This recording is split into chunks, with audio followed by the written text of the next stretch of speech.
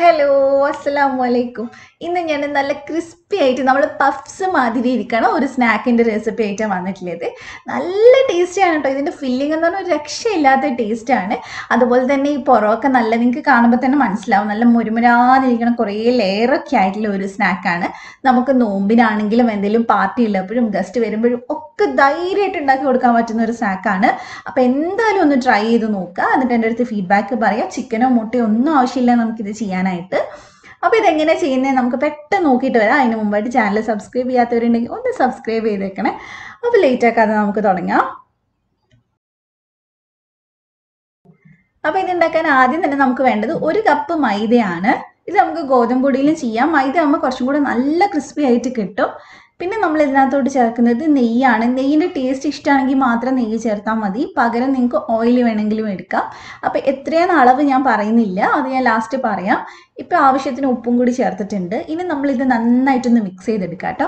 അപ്പം നെയ്യ് കുറവുണ്ടെങ്കിൽ നമ്മൾ കുറച്ചും കൂടി ഇട്ട് കൊടുക്കണം. ഇത് നമ്മളിങ്ങനെ ഉണ്ട പിടിച്ചെടുക്കാൻ പറ്റണം. ആ ഒരു പരുവത്തിൽ നമുക്ക് കിട്ടണമെങ്കിൽ കുറച്ചും കൂടി നെയ്യ് ഒഴിക്കണം.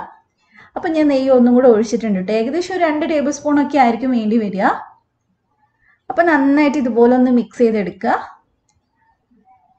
അപ്പോൾ ഫുള്ളായിട്ട് നമ്മൾ എന്തെങ്കിലും കട്ടയൊക്കെ ഉണ്ടെങ്കിൽ ജസ്റ്റ് കൈ വെച്ചിട്ടൊക്കെ ഒന്ന് ഉടച്ച് ഇങ്ങനെ ഒന്ന് ആക്കി കൊടുത്താൽ മതി.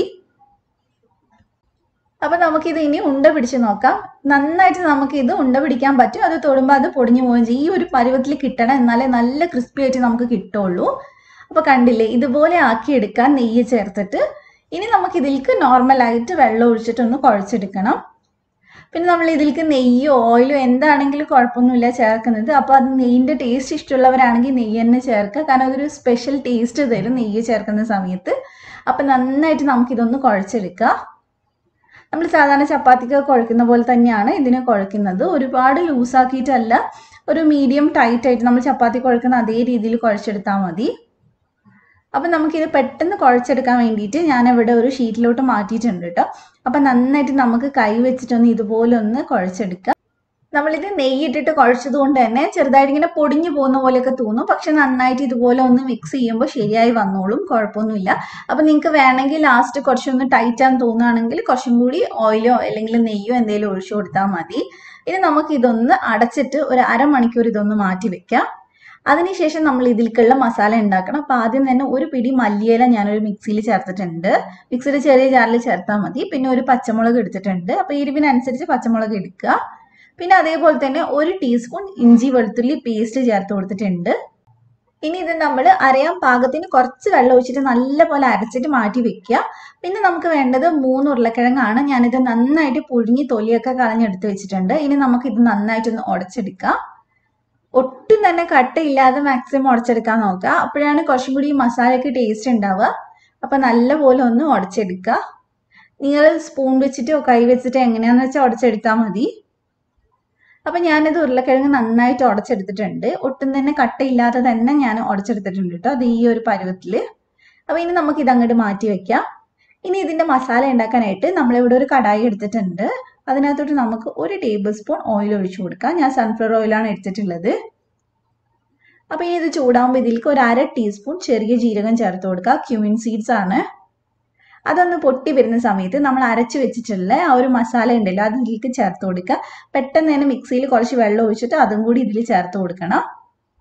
എന്നിട്ട് നമുക്ക് ഇതൊന്ന് കുറച്ച് നേരം വേവിച്ചെടുക്കണം. ചെറുതായിട്ടൊന്ന് ഇത് കുറുകി വരണം. അപ്പോൾ ഏകദേശം ഒരു കാൽ കപ്പ് വെള്ളം ഒഴിച്ചാൽ മതി. ഇനി നമ്മൾ ഇതിൽക്ക് ആവശ്യത്തിന് കുറച്ച് ഉപ്പും കൂടി ചേർത്ത് കൊടുക്കുന്നുണ്ട്. നമ്മൾ മസാലയൊക്കെ മൊത്തത്തിലുള്ള ഉപ്പ് ചേർത്ത് കൊടുത്താൽ മതി. അപ്പോൾ അത് നന്നായിട്ട് മിക്സ് ചെയ്തിട്ട് നമുക്കിനി ഇതിൽക്ക് ഉരുളക്കിഴങ്ങ് ചേർത്ത് കൊടുക്കാം. നമ്മൾ പൊടിച്ചു വെച്ചിട്ടുള്ള ഉരുളക്കിഴങ്ങ് കൈ വെച്ചിട്ട് ഒന്ന് വിടർത്തി വിടർത്തി ഇതുപോലെ ഒന്ന് ഇട്ട് കൊടുക്കുക. ഈ ഫില്ലിങ് സ്പെഷ്യൽ ടേസ്റ്റ് ആണ്. നമുക്ക് ചപ്പാത്തിയുടെ കൂടെയൊക്കെ വേണമെങ്കിൽ കറിയായിട്ട് കഴിക്കാം സൈഡ് ഡിഷ് ആയിട്ട്. കാരണം നല്ല ടേസ്റ്റ് ആണ്. ഈ മല്ലിയില ഇഷ്ടമല്ലാത്തവർക്ക് പോലും ഇഷ്ടമാവും കേട്ടോ അങ്ങനെ ആ ഒരു മല്ലിയിലിന്റെ കുത്തുന്ന ടേസ്റ്റ് ഒന്നും ഇതിന് വരില്ല. അപ്പം നല്ലപോലെ നമുക്കിതൊന്ന് മിക്സ് ചെയ്തെടുക്കാം. ഇതിലേക്ക് നമ്മൾ മിക്സ് ചെയ്യുന്ന സമയത്ത് ആ പുതിനയുടെ മസാലയൊക്കെ നന്നായിട്ട് ഇതിലേക്ക് പിടിക്കണം. നിങ്ങൾക്ക് വേണമെങ്കിൽ ഒരു രണ്ട് ടേബിൾ സ്പൂണോളം വെള്ളം ഒഴിച്ചു കൊടുത്തിട്ട് മിക്സ് ചെയ്താലും കുഴപ്പമൊന്നുമില്ല. അപ്പോൾ നന്നായിട്ടൊന്ന് മിക്സ് ചെയ്തെടുത്താൽ മതി. അപ്പോൾ ഇത് നമ്മളിത് നന്നായിട്ട് മിക്സ് ചെയ്തിട്ടുണ്ട്. ഇനി നമുക്ക് നമുക്കിതെടുത്ത് മാറ്റാം. ഇനി നമുക്ക് ഈ നേരത്തെ കുഴച്ച് വെച്ചിട്ടുള്ളതൊന്ന് പരത്തിയെടുക്കണം. അപ്പോൾ അതിന് മുമ്പായിട്ട് നമുക്ക് കുറച്ച് പൊടി ഇട്ടിട്ട് ഇതൊന്ന് ജസ്റ്റ് ഒന്ന് റോൾ ചെയ്തെടുക്കാം.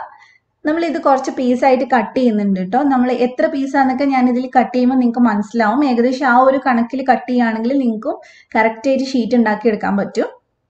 അപ്പൊ ഏകദേശം നമ്മളൊരു ഏഴ് ആറ് അത്ര ഒരു കണക്കിന് കട്ട് ചെയ്താൽ മതി. അപ്പൊ നിങ്ങൾ എത്രത്തോളം ബോൾസ് ഉണ്ടാക്കുന്നോ അത്രയും കൂടുതൽ ലെയർ ഉണ്ടാവും ഇത് ഉണ്ടാക്കുന്ന സമയത്ത്.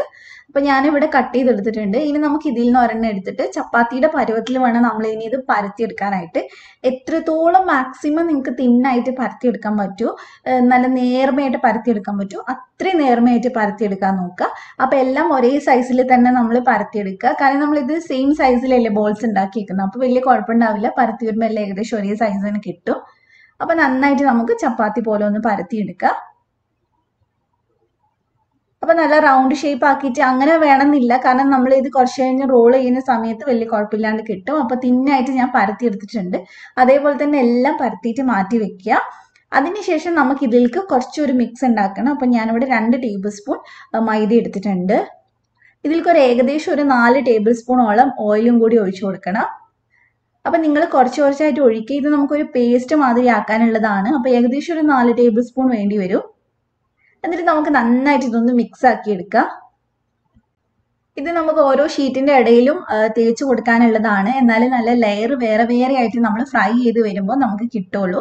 അപ്പൊ അതിന് വേണ്ടിയിട്ടുള്ളതാണ്. അപ്പൊ കുറച്ചും കൂടി ഓയിൽ ഒഴിച്ചിട്ട് ഞാനിത് ഈ ഒരു പരുവത്തിലോട്ട് മാറ്റിയിട്ടുണ്ട്. ഒരുപാട് കട്ടി ആവരുത് അപ്പൊ നമുക്ക് തേച്ച് കൊടുക്കാൻ ബുദ്ധിമുട്ടാണ്. അപ്പൊ ഇനി നമുക്ക് ഇത് മാറ്റി വെക്കാം. അപ്പൊ നമ്മൾ എല്ലാ ചപ്പാത്തി പരത്തി എടുത്തിട്ടുണ്ട് കേട്ടോ. അപ്പൊ ഒരു ചപ്പാത്തി നമുക്ക് ഇവിടെ വെക്കാം. അതിന്റെ ഇടയിൽ കുറച്ച് പൊടി ഇട്ട് കൊടുക്കണം കേട്ടോ. എന്നിട്ട് നമുക്ക് ഇതിന്റെ മുകളിലായിട്ട് നമുക്ക് ഒരു ബ്രഷ് വെച്ചിട്ട് എല്ലാവരുടെയും ഒന്ന് നന്നായിട്ട് ഇതൊന്ന് സ്പ്രെഡ് ചെയ്ത് കൊടുക്കുക ബ്രഷ് തന്നെ വേണമെന്നില്ല കൈവച്ച് ചെയ്താലും മതി. അപ്പൊ എല്ലാവരുടെയും നന്നായിട്ട് ഞാൻ ഈ മൈദ പേസ്റ്റ് വെച്ച് കൊടുത്തിട്ടുണ്ട്. ഇനി ഇതിന്റെ മുകളിലായിട്ട് അടുത്ത ഷീറ്റ് വെച്ച് കൊടുക്കുക എല്ലാ ഷീറ്റും നല്ല തിന്നായിട്ടാണ് ഞാൻ പരത്തി എടുത്തിട്ടുള്ളത്. ഇനി ഇതിന്റെ മുകളിൽ നമുക്ക് വീണ്ടും അതേപോലെ തന്നെ മൈദന്റെ പേസ്റ്റ് വെച്ച് കൊടുക്കുക ഇങ്ങനെ നമ്മൾ ഇനി എത്ര പരത്തിയാലും ഈ ലെയർ നമുക്ക് വിട്ടു പോവില്ല. നമ്മൾ ഫ്രൈ ചെയ്ത് വരുമ്പോൾ ഈ ലെയർ നമുക്ക് വേറെ വേറെ കിട്ടും.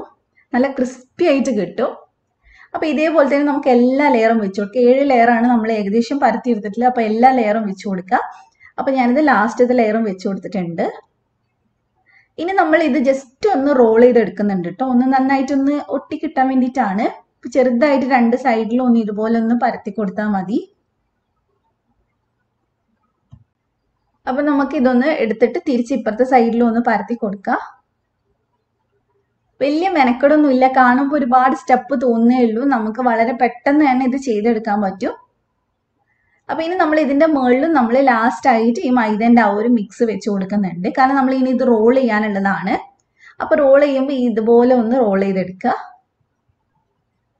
അപ്പൊ നമ്മൾ മേലെയും ആ മൈദന്റെ ഇത് വെച്ച് കൊടുത്തുകൊണ്ട് നമ്മൾ ആ റോൾ ചെയ്യുന്ന ഭാഗമൊക്കെ നമുക്ക് പിന്നെ വിട്ട് കിട്ടും. അപ്പൊ നന്നായിട്ട് നമുക്ക് ഇതുപോലെ കൈവച്ചിട്ടൊന്ന് റോളാക്കി എടുക്കാം. അപ്പൊ ഇനി നമുക്കിത് വീണ്ടും കട്ട് ചെയ്യാനായിട്ട് നമ്മൾ നേരത്തെ ഒരു ഏഴ് പീസാക്കി കട്ട് ചെയ്തില്ല? അതേപോലെ തന്നെ ഒരു ആറോ ഏഴോ പീസായിട്ട് വീണ്ടും ഒന്ന് കട്ട് ചെയ്യുക. സൈഡ് ഒന്ന് കട്ട് ചെയ്ത് മാറ്റി വെക്കുക കേട്ടോ. എന്നിട്ട് നമുക്ക് ഇത് കട്ട് ചെയ്തെടുക്കാം. പിന്നെ ഇതിൽ നമ്മൾ കട്ട് ചെയ്തതിന് ശേഷം ബാക്കിയാവുന്ന പീസൊക്കെ ചുമ്മാ എണ്ണയിൽ ഫ്രൈ ചെയ്തെടുത്താൽ ഒരു രക്ഷയില്ലാത്ത ടേസ്റ്റ് ആണ്. കുട്ടീസിനൊക്കെ ഭയങ്കരമായിട്ട് ഇഷ്ടമാണ് കാരണം നല്ല ക്രിസ്പി ആയിട്ടാണ് ഉണ്ടാവുക അപ്പൊ അതേ ഞാൻ കട്ട് ചെയ്തെടുത്തിട്ടുണ്ട്. ഏകദേശം ഏഴ് എട്ട് പീസ് ഉണ്ട്. അപ്പൊ അതിൽ നിന്ന് ഒരെണ്ണം എടുത്താൽ നിങ്ങൾക്ക് മനസ്സിലാവും ഒരുപാട് ലെയർ വന്നിട്ടുണ്ട്. ഇനി നമ്മൾ ഇതൊന്ന് പരത്തിയെടുക്കണം. അപ്പൊ നമുക്ക് കുറച്ച് പൊടി ഇട്ടിട്ട് ഇത് നല്ല തിന്നാക്കിയിട്ട് തന്നെ പരത്തിയെടുക്കാൻ നോക്കുക. നമ്മൾ സാധാരണ പഫ്സ് ഉണ്ടാക്കുമ്പോൾ ഇത്രയും തന്നെ പണിയുണ്ട്. കാരണം നമുക്ക് ഒരുപാട് തവണ ഇതുപോലെ പരത്താനുണ്ടാവും ഒറിജിനൽ പഫ്സ് ഉണ്ടാക്കുന്ന സമയത്ത്. അപ്പൊ അതുകൊണ്ട് തന്നെയാണ് നമുക്ക് ഇതിനും അത്രയും ലെയർ കിട്ടുന്നത്. അപ്പൊ നന്നായിട്ട് പരത്തിയെടുക്കുക. നമ്മൾ ഇതൊരു ട്രയാങ്കിൾ ഷേപ്പിലാണ് കട്ട് ചെയ്യുന്നത്. അപ്പൊ നമ്മൾ പരത്തുമ്പോൾ അതിനനുസരിച്ച് രണ്ട് സൈഡിൽ മാത്രമായിട്ട് പരത്തിയെടുത്താൽ മതി. ഇനി നമുക്ക് നാല് സൈഡും ഒന്ന് കട്ട് ചെയ്ത് കൊടുക്കാം ഇതുപോലെ ഒന്ന് കട്ട് ചെയ്തെടുത്താൽ മതി. എന്നാൽ നമുക്ക് കറക്റ്റ് ആയിട്ട് മടക്കി എടുക്കാൻ പറ്റും. അതിന് വേണ്ടിയിട്ടാണ്. ഇനി നമ്മൾ ഈ കട്ട് ചെയ്ത നാല് സൈഡ് ഉണ്ടല്ലോ അത് അവസാനം ഒന്ന് പൊരിച്ചെടുത്ത് കഴിച്ചു നോക്കണം കേട്ടോ. നല്ല ടേസ്റ്റ് ആണ്. അപ്പൊ നമ്മളൊരു രണ്ട് സ്പൂൺ ഫില്ലിംഗ് വെച്ചിട്ടുണ്ട്. ഇനി നമ്മൾ നാല് സൈഡിലുമായിട്ട് മൈദ ഒന്ന് കലക്കിയിട്ട് ഒട്ടിച്ചു കൊടുക്കുന്നുണ്ട്. ഒരു സ്പൂൺ മൈദയിൽ കുറച്ച് വെള്ളം ഒഴിച്ചിട്ട് പേസ്റ്റ് ആക്കിയാൽ മതി.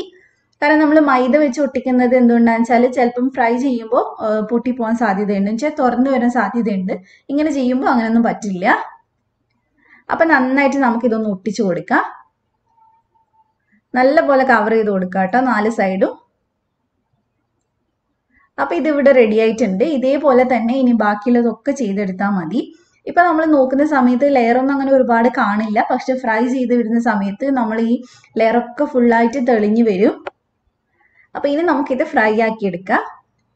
അപ്പൊ ഫ്രൈ ചെയ്യാനായിട്ട് ഞാനിവിടെ ഒരു ഫ്രൈ പാൻ ആണ് എടുത്തിട്ടുള്ളത്. അങ്ങനെ ചെയ്യുകയാണെങ്കിൽ നമുക്ക് ഒരു രണ്ട് ട്രിപ്പിൽ തന്നെ എല്ലാം ഫ്രൈ ചെയ്തെടുക്കാൻ പറ്റും. അപ്പൊ കുറച്ച് സൺഫ്ലവർ ഓയിൽ ഒഴിച്ചിട്ടുണ്ട്. അതൊന്ന് ചൂടാകുമ്പോൾ നമുക്ക് അതിലേക്ക് ഇട്ട് കൊടുക്കാം. ഇത് നമ്മൾ തീ ഒരുപാട് കുറച്ച് വെച്ചിട്ടും കൂട്ടി വെച്ചിട്ടും ഫ്രൈ ചെയ്യരുത്. ഒരു മീഡിയം ഫ്ലെയിമിൽ തന്നെ ഫ്രൈ ചെയ്തെടുത്താൽ മതി. ഒരുപാട് നേരമൊന്നും എടുക്കില്ല ഫ്രൈ ആവാനായിട്ട്. അപ്പൊ നമുക്ക് ഇതൊന്ന് തിരിച്ചിട്ട് കൊടുക്കാം. ഇത് നമ്മൾ വേവാനുള്ള സമയം കൊടുക്കണം. കാരണം കുറച്ച് ലെയർ ഉള്ളത് കൊണ്ട് തന്നെ നമ്മൾ കുറച്ചൊന്ന് സമയം കൊടുക്കണം. അപ്പൊ മീഡിയം ഫ്ലെയിമിൽ തന്നെ തിരിച്ചും മറിച്ചിട്ടിട്ട് ഈ ഒരു കളർ വരുന്നത് വരെ ഒന്ന് ഫ്രൈ ചെയ്തെടുക്കുക. ഇപ്പൊ നല്ല ക്രിസ്പി ആയിട്ടാണ് ഉള്ളത്. അതുപോലെ തന്നെ ഇതിൽക്ക് അങ്ങനെ ഒട്ടും തന്നെ എണ്ണ കുടിച്ചിരിക്കില്ല. നമ്മൾ സാധാ പഫ്സ് പോലെ തന്നെ ഉണ്ടാവും. എണ്ണയൊന്നും ഉണ്ടാവില്ല. അപ്പൊ നമുക്ക് ഇതിൽ നിന്ന് ഒരെണ്ണം എടുത്തിട്ടൊന്ന് കട്ട് ചെയ്ത് നോക്കാം. ഇപ്പൊ കാണുമ്പോൾ തന്നെ നല്ല ഭംഗിയില്ലേ? കഴിക്കാനാണെങ്കിലും അതുപോലെ തന്നെയാണ് ഉറപ്പായിട്ടും ഇഷ്ടമാവും കാരണം ഇതിന്റെ ഫില്ലിംഗ് ആണെങ്കിലും ഇതിന്റെ ഈ പുറത്തുള്ള ഈ തൊലിയാണെങ്കിലും ഒക്കെ അടിപൊളിയാണ്. ഇപ്പൊ തൊടുമ്പോൾ തന്നെ നിങ്ങൾക്ക് മനസ്സിലാവുന്നുണ്ടാവും. നല്ല ക്രിസ്പി ആയിട്ട് ഉള്ളത്. കുറേ ലെയർ ലെയർ ആയിട്ട് വന്ന് കിടപ്പുണ്ട്. അപ്പൊ എല്ലാവരും ഇത് പെട്ടെന്ന് തന്നെ ട്രൈ ചെയ്യുക. നോമ്പാവുന്നതിന് മുമ്പ് തന്നെ ട്രൈ ചെയ്യുക. കാരണം നോമ്പിന് ഇങ്ങനത്തെ ഒക്കെ ഉണ്ടാക്കാൻ മിക്കവർക്കും മടിയായിരിക്കും. അപ്പൊ അതുകൊണ്ട് തന്നെ അതിന് മുമ്പ് തന്നെ ട്രൈ ചെയ്യുക. എന്നിട്ട് ഫീഡ്ബാക്ക് പറയാം. അപ്പൊ നിങ്ങൾക്ക് റെസിപ്പി ഇഷ്ടമായിട്ടുണ്ടെങ്കിൽ ഫ്രണ്ട്സിനും ഫാമിലിക്കും ഒക്കെ ഒന്ന് ഷെയർ ചെയ്ത് കൊടുക്കുക അതുപോലെ തന്നെ ഈ ചാനൽ ആദ്യമായിട്ട് കാണുന്നവരുണ്ടെങ്കിൽ ഒന്ന് സബ്സ്ക്രൈബ് ചെയ്യുക. എന്നിട്ട് തൊട്ടടുത്തുള്ള ബെല്ല് ക്ലിക്ക് ചെയ്ത് ഓളും കൂടെ ക്ലിക്ക് ചെയ്യുക. എന്നാൽ മാത്രമേ ഞാൻ വീഡിയോസ് ഇടുമ്പോൾ നോട്ടിഫിക്കേഷൻ വരുള്ളൂ. അപ്പം മറ്റൊരു കിടക്ക വീഡിയോ ആയിട്ട് നമുക്ക് വീണ്ടും കാണാം. Thank for watching